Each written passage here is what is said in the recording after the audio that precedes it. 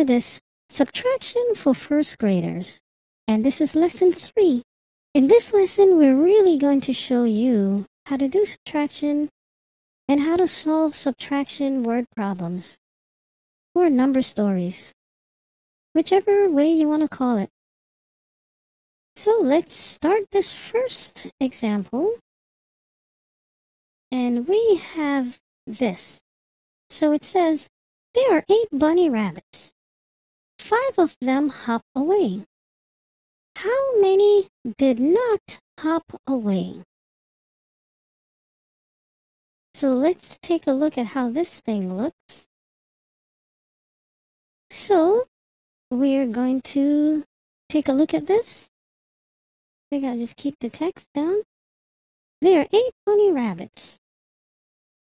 One, two, three, four, five, six, seven hiding behind a tree, and, uh, hmm.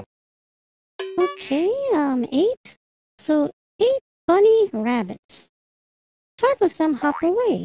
One, two, three, four, and five. Oh. Okay. And how many are left? We can see one, two, three.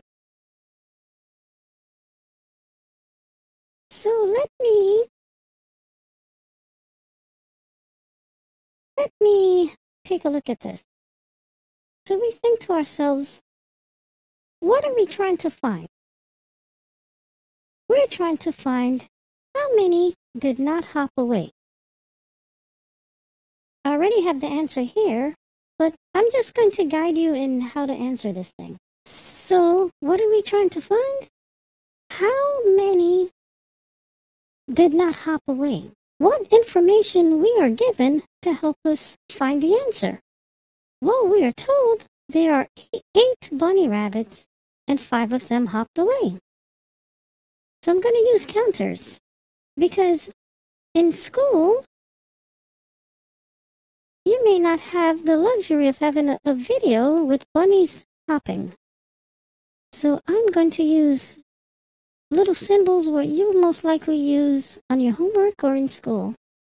These will represent the eight bunny rabbits. One, two, three, four, five, six, seven, eight.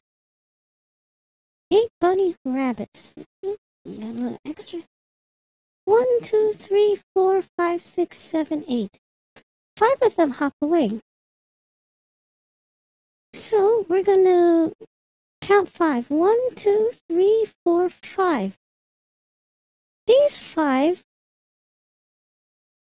will represent the ones that hopped away. And so I'll just circle them and cross them out. And as you can see, we are left with three.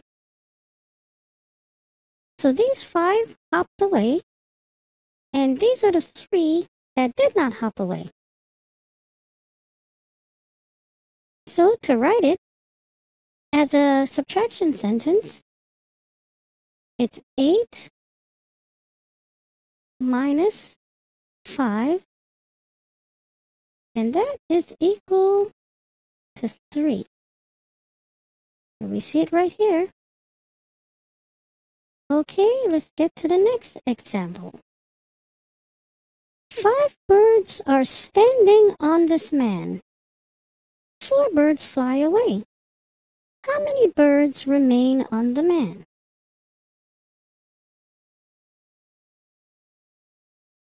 All right, so let's take a look at how this is looking. So, here are the five birds that are standing on the man.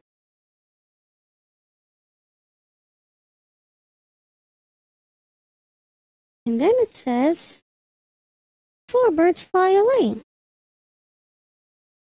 There go the four.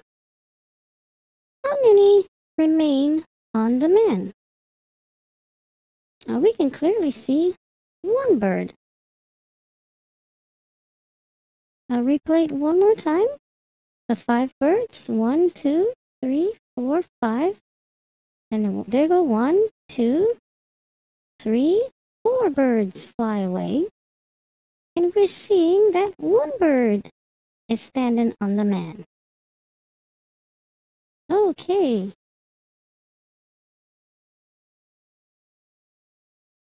So we're going to use counters. I have one, two, three, four, and five. Five birds are standing on the man. So remember the questions that we have to ask ourselves, what are we trying to find? So we're trying to find how many birds remain on the man. And what information are we given to help us find this?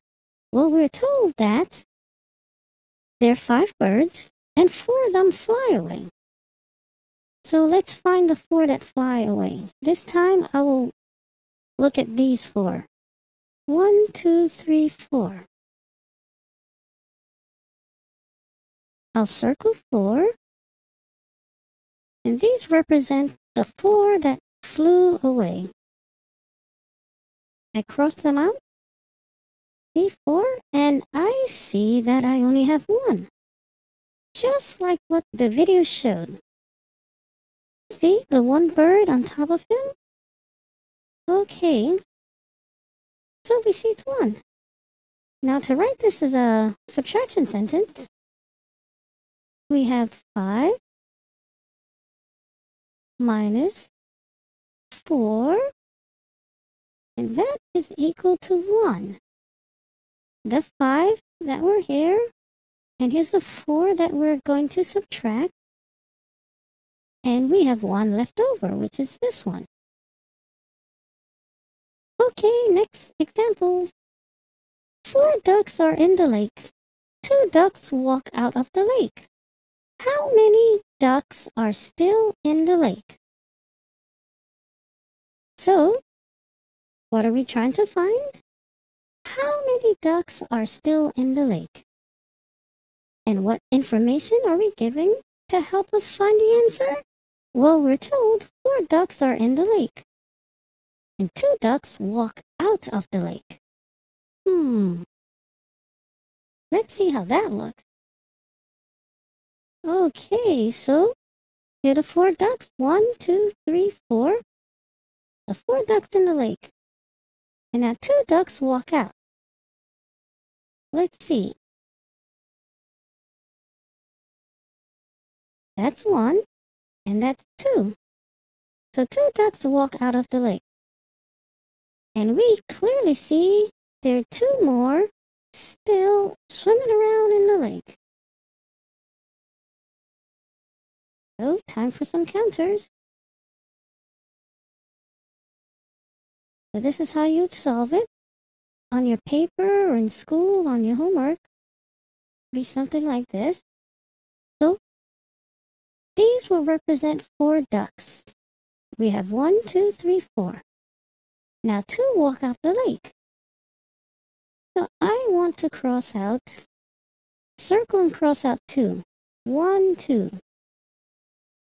These, this will represent the two that walked out the lake.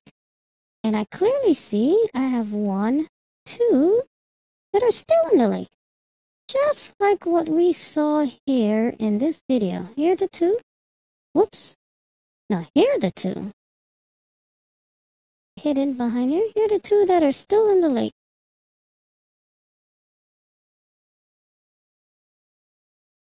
Now to write that as a subtraction sentence.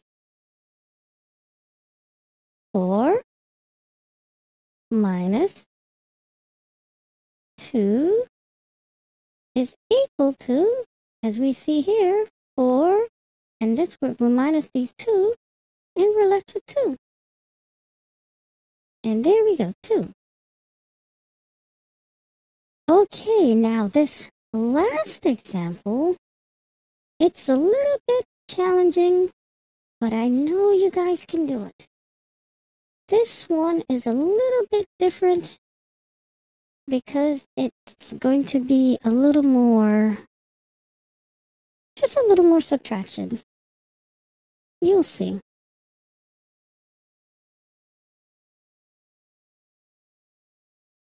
There are ten birds on the man.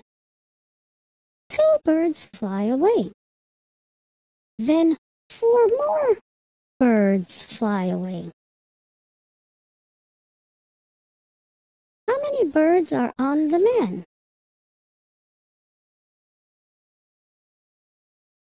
So there are ten birds on the man, two birds fly away, then four more birds fly away.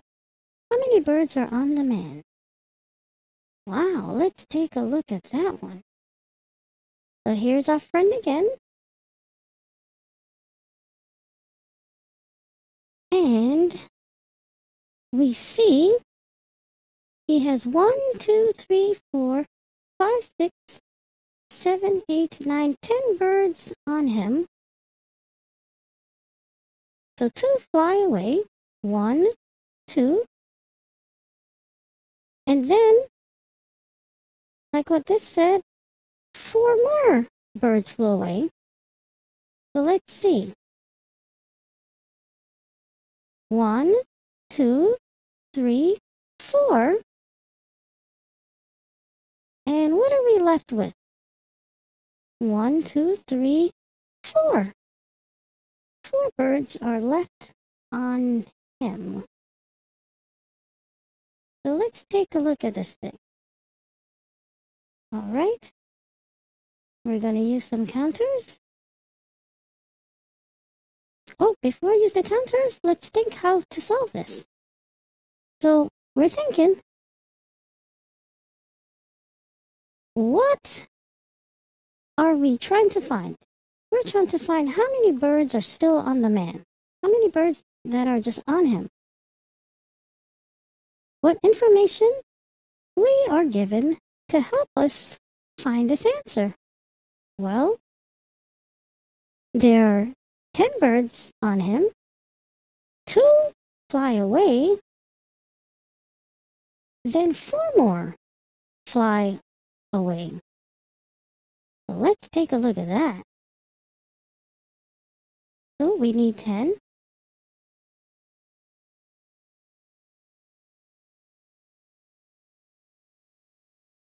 So far I have six, seven, eight, nine,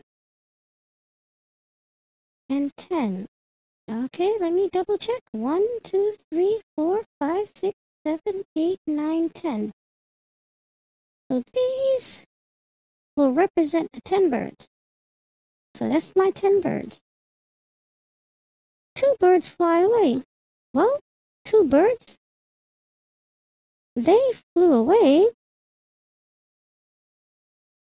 So these will represent the two birds that flew away. Leaving one, two, three, four, five, six, seven, eight. Right? But it says then four more birds fly away. So that's one, two, three, four. So these four will represent the ones that flew away after those first two. And we see we're left with one, two, three, four because it asks how many birds are on the man.